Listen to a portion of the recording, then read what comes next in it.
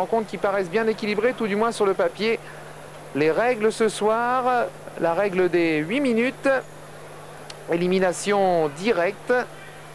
En cas de faute, eh bien, vous avez le choix, l'option, c'est-à-dire soit le lancer, soit la possession. On utilise la ligne des 3 points NCAA à 19 feet 9, c'est-à-dire 6 mètres comme en Europe. Et puis également en cas de 4 fautes, 1 plus 1 et la possession. Et faute sur tir à 3 points, et eh bien 3 lancés. Les deux premiers joueurs sont déjà sur le parquet.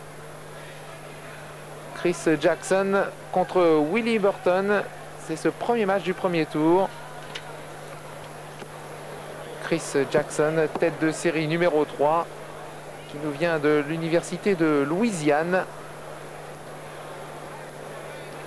C'est le plus petit joueur ce soir, 1m85, 76 kg, né à Gulfort dans le Missouri.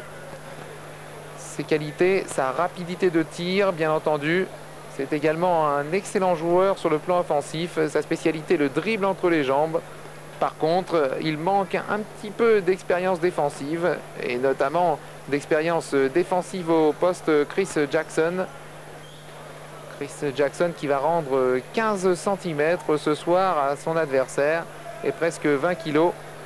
Son adversaire c'est Willie Burton, la tête de série numéro 6 qui vient de l'université de Minnesota, Willie Burton.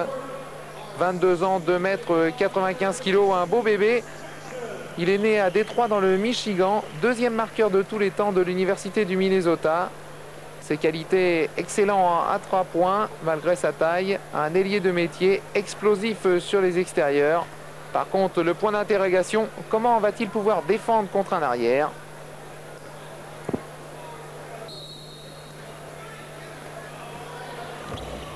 C'est Jackson qui a essayé de marquer le premier avec un tir à 3 points. Mais la balle est maintenant dans les mains de Willie Burton.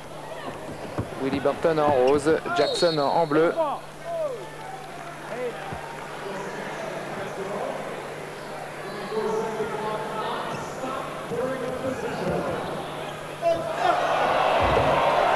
C'est Jackson qui ouvre le score. 2-0 pour Jackson.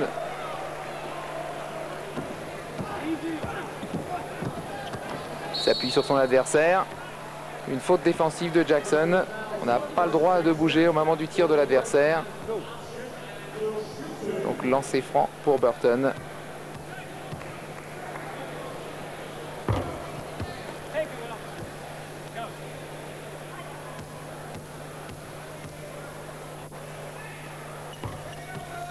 Deux sur deux.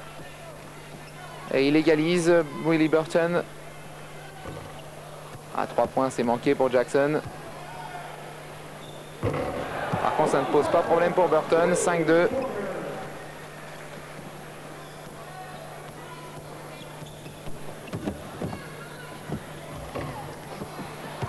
Récupère au rebond, bien entendu, il a l'avantage, Burton.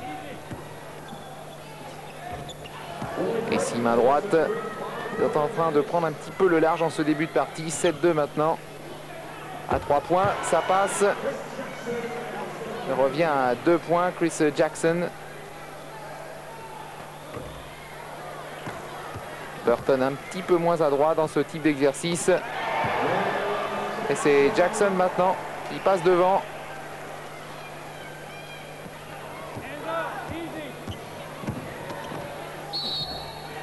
Qui connaît des problèmes pour défendre quand il vient le défier sous les panneaux. Burton avec sa masse physique.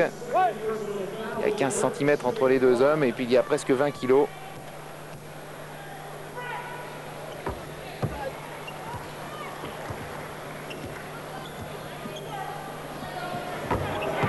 Et encore 3 points pour euh, Jackson. Jackson qui a la main chaude ce soir. Il a mis un petit peu de temps à prendre ses marques. Et maintenant, il a pratiquement 100% de réussite à 3 points. Bien qu'ici, il nous fasse mentir. C'est Burton qui récupère. Burton qui lui essaye de pénétrer. Et passe main gauche.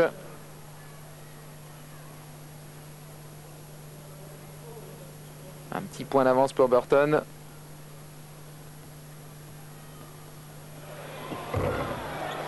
Burton qui se met à marquer à 3 points également. La meilleure réponse de Jackson.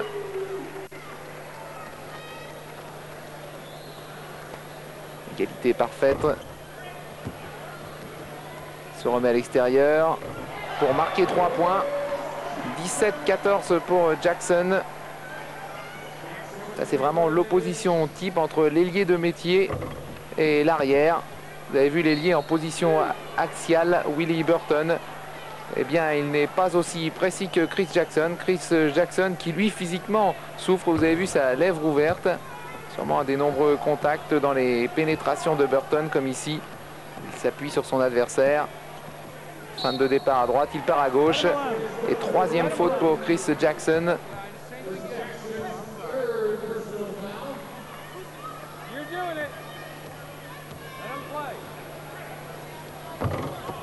C'est de plus en plus difficile de convertir les lancers francs avec la fatigue. Heureusement, il a récupéré au rebond pour mettre deux nouveaux points. Willie Burton. Et pour l'instant, Jackson, lui, continue avec sa série à 3 points. Et Burton va avoir bien du mal à répondre à la qualité de basket de, de Jackson. Deux points ici de plus pour Burton. En compte extrêmement serré.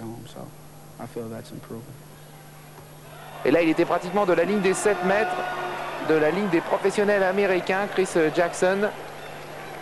Chris Jackson, c'est son septième panier consécutif à 3 points.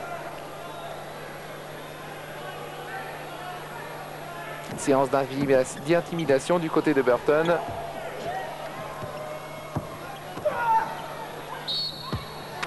Et quatrième faute pour Chris Jackson. Et pas content de la décision de Monsieur Reynolds. Souris, Willie Burton. Thanks, Chris.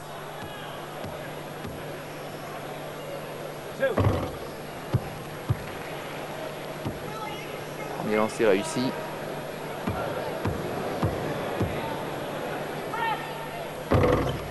Par contre, le deuxième touche le cercle mais ne rentre pas. Premier lancé à trois points raté sur les huit derniers tirs par Jackson. Burton qui a la chance de récupérer. Là, il pensait à la faute. D'ailleurs, il regarde Monsieur Reynolds et Jackson qui manque derrière le tir. Il se replace à trois points. Eh bien, une malchance qui bénéficie à Chris Jackson qui est en train de prendre un petit peu le large. 5 points d'avance.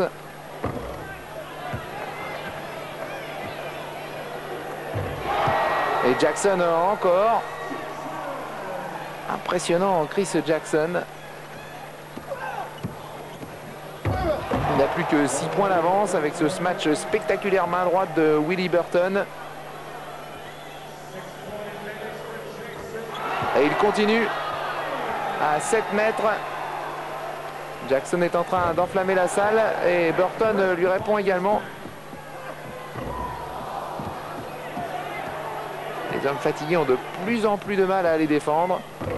Pourtant, il avait eu le temps ici de régler sa distance. Heureusement, il récupère et il met ce match main gauche. Plus que 4 points d'avance pour euh, Chris Jackson. Willie Burton a-t-il les ressources physiques pour revenir? Un effort extrêmement violent, un effort en anaérobie lactique avec production de déchets lactiques. Ils vont souffrir ce soir les hommes.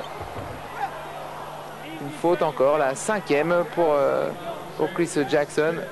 Chris Jackson qui fait savoir à Monsieur Reynolds que celui-ci joue un petit peu des coudes.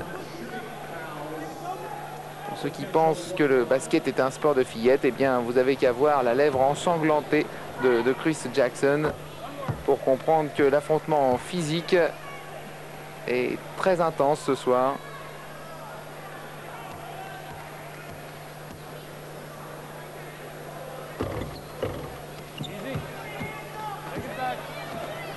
Trois points d'avance.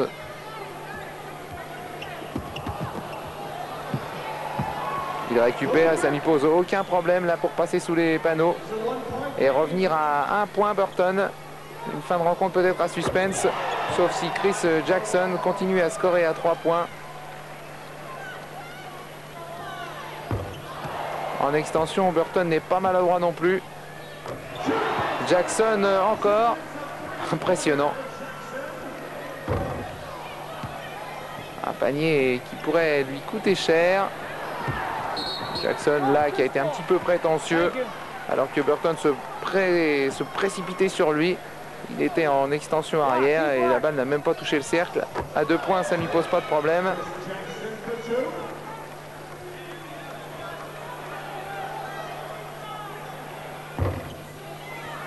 À 7 mètres, il n'est pas aussi adroit que Jackson Burton. Jackson est en train de prendre le large en route vers la demi-finale. 7 points d'avance maintenant. Dribble entre les jambes. Fin de départ à droite, départ à gauche. Et sixième faute pour Chris Jackson. Mais il y a une différence d'adresse entre les deux hommes. Et pour l'instant, c'est l'adresse qui triomphe de la force. Avec 11 points d'avance pour Jackson. On voit pas maintenant comment il pourrait ne pas aller en demi-finale.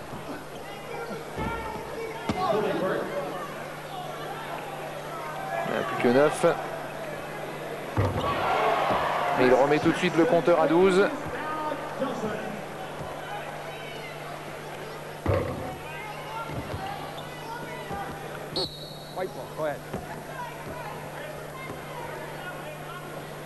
De 8 mètres là, Burton, peut-être un petit peu tard, surtout qu'il ne défend pas sur Jackson. Celui-ci a tout le temps pour ajuster son panier.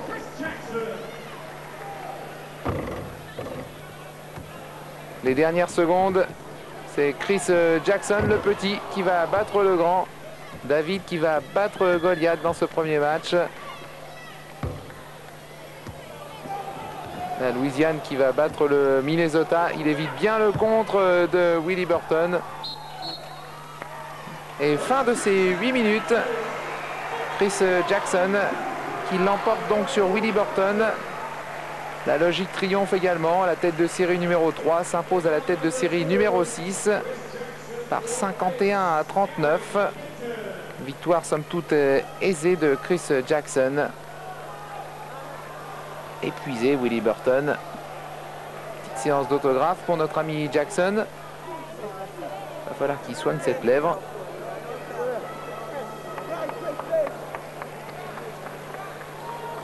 on pouvait se poser la question de savoir comment les, petits allaient répondre aux grands. Eh bien, ils ont répondu de la meilleure façon. Alors là, nous retournons avec euh, Johnny Hallyday et Billy Parker pour l'utilisation des 24 secondes. Billy Parker nous explique que ça peut être une stratégie, comme l'a montré Jackson, qui a gelé le jeu en fin de rencontre face à Burton, pour utiliser de la meilleure façon les 24 secondes. Alors la différence est surtout faite dans l'adresse à 3 points de, Jackson. En tête de raquette, il marque deux nouveaux points. Et de la ligne de 7 mètres, Burton manque. C'est un petit peu à l'image de cette rencontre.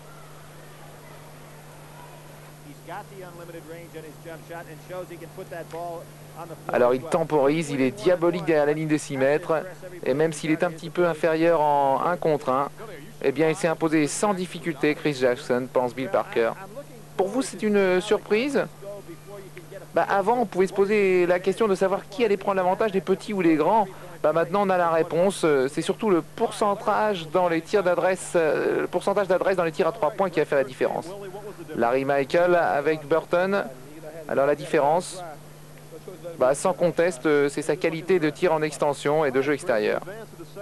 Alors, euh, Chris qualifié une grosse lèvre. Effectivement, euh, il est plus grand, j'ai dû me défoncer physiquement, mais je suis content d'avoir fait triompher l'adresse.